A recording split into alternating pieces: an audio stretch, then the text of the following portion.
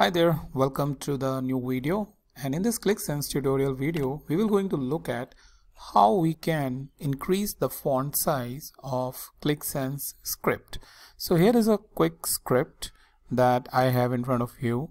And it can be any script like your own script. But the thing is you may want to increase the size. Maybe because of the uh, visual reason that you love to see the bigger font size. But unfortunately you don't have any font related settings over here which I tried to search when I was trying to figure out how to increase. And one of the reasons why I am increasing is because uh, some some of the people have given me the feedback that uh, in the tutorial video the scripting is having a low or the small font size and it's difficult to view it or you have to really focus or give a lot of pressure on your eyes. So I thought of figuring it out and yeah I figured it out. So what I basically or what you basically need to do is you need to right click and uh, click on show dev tools. And I think it mainly because I'm on Windows and uh, using Chrome. So once I click over there you see that Chrome dev tools right?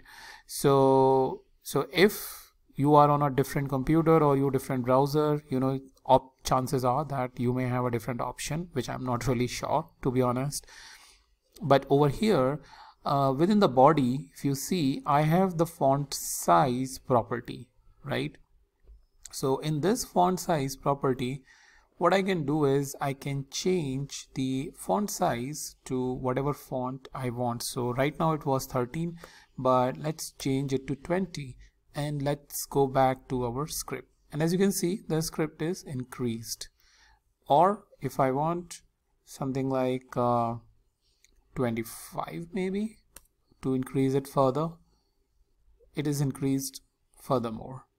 So these are the properties that is available to us um, that uh, we can change like what is the font family uh, you can change that.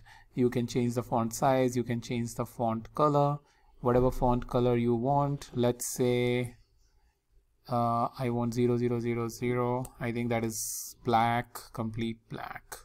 So it will be changed accordingly. But that's okay. Earlier it was like 595959 so I'm good with that as well. So just wanted to show you you know the different settings which is available to us. Again some more settings over here uh, but I do not want to change that uh, over here width height um, position overflow hidden. Uh, you can change these properties and play around with this. But for now I think uh, I'm good where you know maybe I can probably add uh, some you know spaces to clearly visualize this information so this information is now properly here with me, which is an increased font size and looks much better. And over there, if you see, even this, these over here, these, wherever the font was there, it is increased. So this way you can increase your font size and uh, and uh, sort this issue out. So that's about it in this video and I will meet you in the new video with a new topic.